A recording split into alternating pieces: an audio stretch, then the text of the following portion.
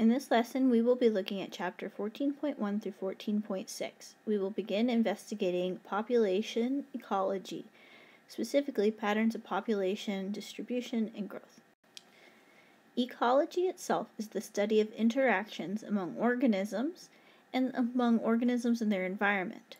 During our unit on ecology, we will be looking at both biotic interactions, the interactions between living organisms, and abiotic interactions, which are the interactions between living organisms and the non living areas around them.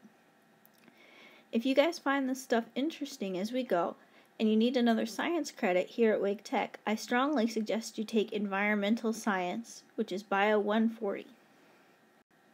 Bio 140 is a lot of application of the information that we will look at in this unit.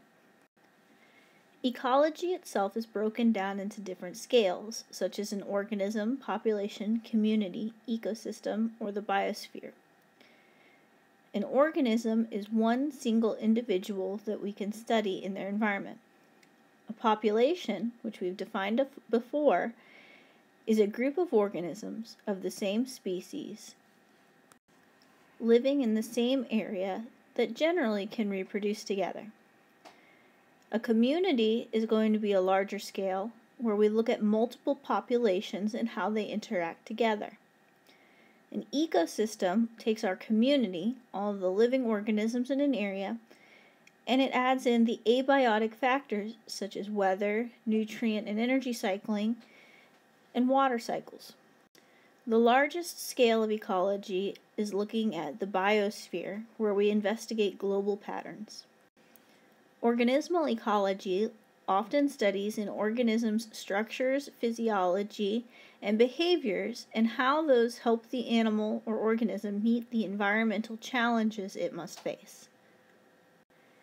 Population ecology studies factors that affect the population's growth, density, and size over time.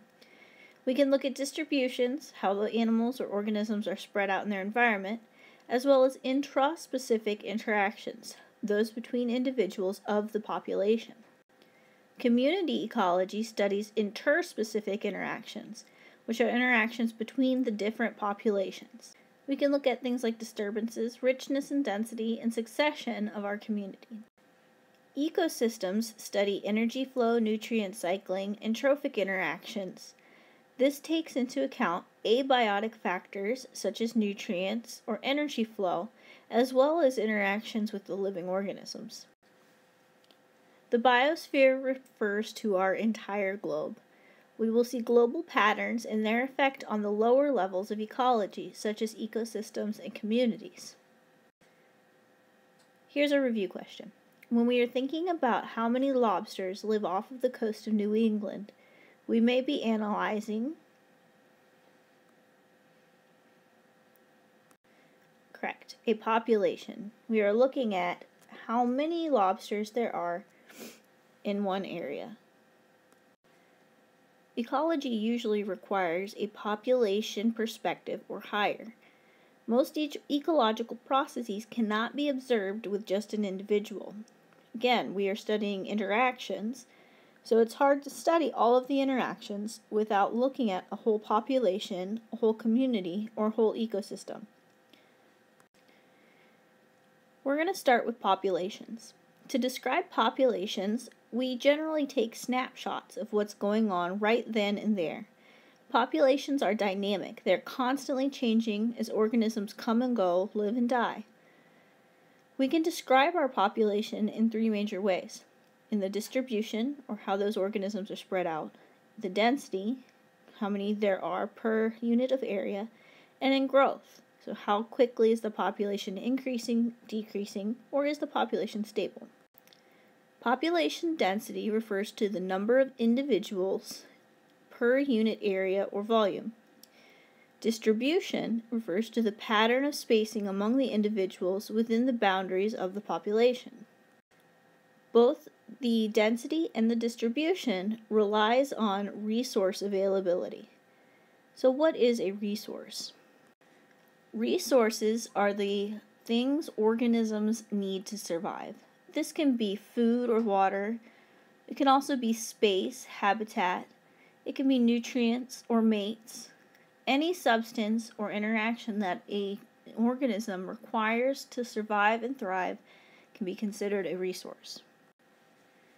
Distribution is dependent on the availability of resources. We're going to look at three distribution patterns clumped, random, and uniform. Clumped distribution or dispersion is when individuals group together in patches.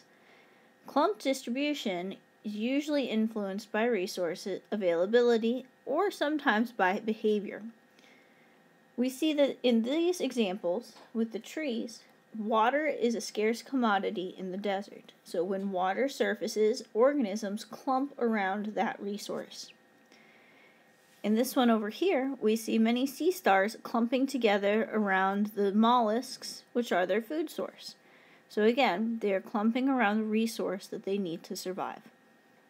Uniform distribution is when individuals are equally spaced in their environment.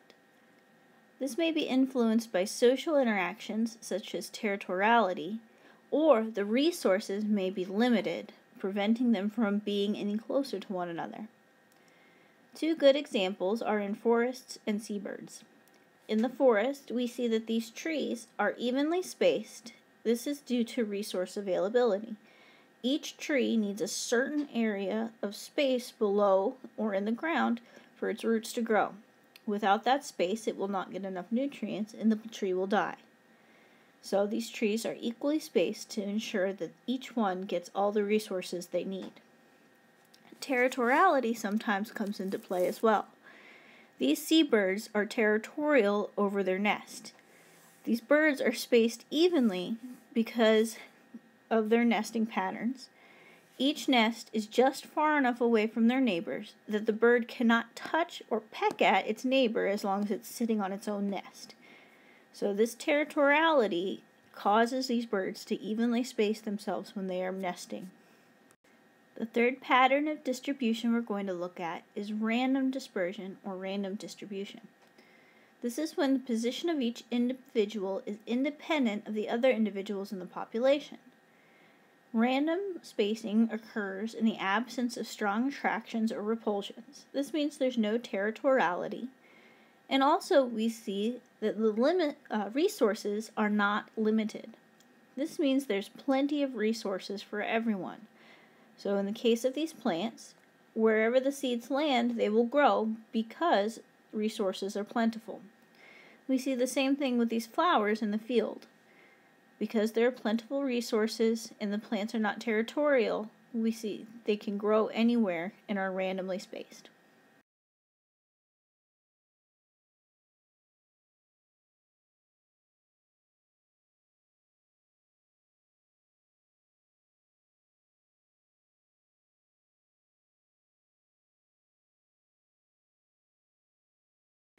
This is an easy math problem. 520 individual birds divided by 2 acres.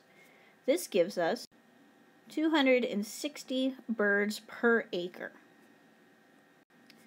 Humans like to figure out population density, particularly for our own population. So, for example, you can look up the population density by state. Florida has a population density of approximately 353 people per square mile. North Carolina has a population density of 189 people per square mile. Last I checked, New Jersey was the most dense state with 1,170 people per square mile. Remember, for population densities to be so high, there have to be high resources allowing for that many people or that many organisms to be in one area. If the resources are limited and there are few things, individuals must spread out to get what they need. There are some exceptions to the population density rule. For example, we often see herds of animals traveling together. This is because there are safety in numbers. So, zebra herds, for example, live in high numbers where the density is too high to be supported by the resources in one area. They live together because they are safer together than they are by themselves. It's harder for a lion or other predator to pick them off if they are in a big group compared to if they are all by themselves. So, how do large herds survive if they outnumber the available resources? This is why herds of zebras and other large herbivores migrate across the savanna. They move from place to place to increase their resource availability. The next topic we're going to investigate is population growth. Populations can grow quickly over time for a while, but not forever. Population growth also has to do with population size. Population size is influenced by birth and death rates, as well as immigration, or the influx of new individuals from other areas, and emigration, which is the movement of individuals out of a population.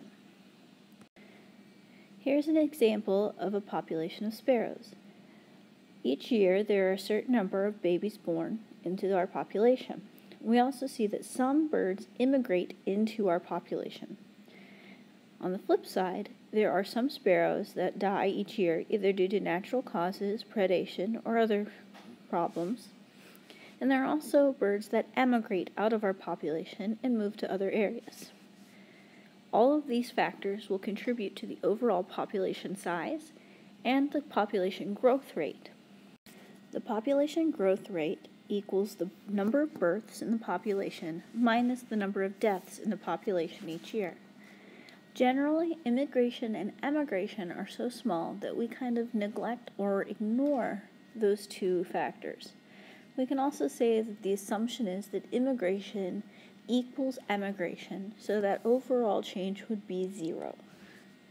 Population growth rates lead us to two major growth trends we can look at the exponential model and the logistical model of growth.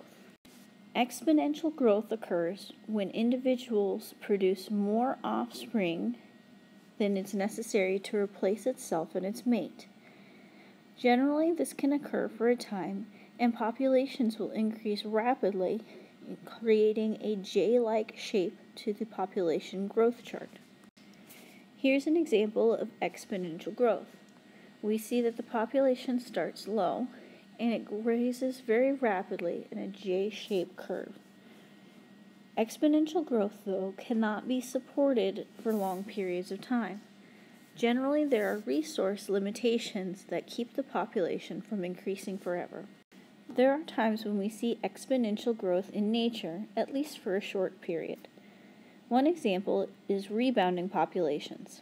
This elephant population in South Africa grew exponentially after hunting was banned in that area. Introduced species or invasive species will also increase exponentially, at least for a time. A good example of this was rabbits when they were introduced into a new population. They bred rapidly and their population skyrocketed at an exponential rate. As we mentioned before, exponential growth cannot continue forever. This leads us to our second model of growth, the logistic growth model. Logistic growth describes population growth that is gradually reduced as the population nears the environment's carrying capacity. The carrying capacity is the number of organisms that the environment can support long term. We see here that in the logistic growth model, the carrying capacity, abbreviated as K, is where the population levels off and is no longer increasing. There are many factors in the environment that can limit population growth. This includes resource availability, such as food, water, shelter, space, mates. Even natural disasters can limit populations. So, storms, floods, fires, all of these can stop populations from growing and decrease them slowly over time or rapidly. Some of these factors are density dependent, meaning that the more individuals there are, the bigger the effect of that limiting factor. Other factors are density independent, and it does not matter how many individuals there are in the population, all individuals present will be affected by that factor. All limiting factors affect a population's growth. This is also playing into population density. The more dense a population tells us that there are more resources available and that the carrying capacity is higher in that environment.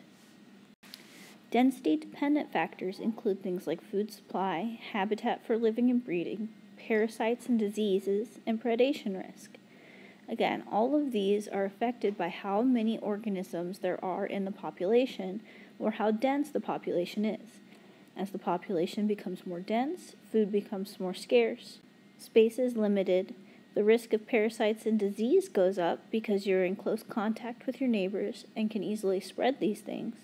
And predation risk goes up because it's easier for a predator to catch a prey item if they are densely packed together. Density independent forces or factors are ones that strike populations without regard of the size of the population. Generally, these are weather based or human inflicted disasters, things such as fires, storms, floods, or humans destroying a habitat can all be density independent factors. Density independent factors limit population size by drastically decreasing the population very rapidly. This then allows the population to recover over time. Some of these independent factors actually occur on a regular basis. So, certain ecosystems have a um, flood or fire at fairly regular intervals which again limits the population overall and prevents them from overtaking the other resources in the area. We also see that certain populations cycle between large and small population size. Sometimes these oscillations are caused by interactions with other groups. A classic example is predator prey interactions between snowshoe hares and lynx. We can see that as the hare population increases, this provides more food for the lynx. With time, the lynx will also start to increase. However, as lynx increase, they eat all of the hares, causing the hare population to crash or decrease rapidly. After that, the lynx population runs out of food and their resources are limited. Therefore, their population also decreases. Because the lynx population has decreased, the predation risk has gone down as well. This allows the hare population to jump back up and start to increase again. When the hare population increases, the food supply for the lynx increases, which allows the lynx population to increase as well. We see this continuing cycle of increase, decrease, increase, decrease of both the predators and the prey over time. Here's a practice problem. Why is the lynx population decreasing at the point labeled number 2 on this graph? The correct answer is number 4, so both 1 and 3 are correct. Remember, food supply is a density dependent factor, and for these lynx, the hares are their food. So, because the hare population has decreased, the lynx are running out of food, which limits their population and causes them to decrease as well. In summary, this lesson has looked at the scope of ecology, and we looked at the beginnings of population ecology, factors such as population growth, population density, and population distributions. Be sure to look over the learning objectives posted in Blackboard to help you study for this lesson.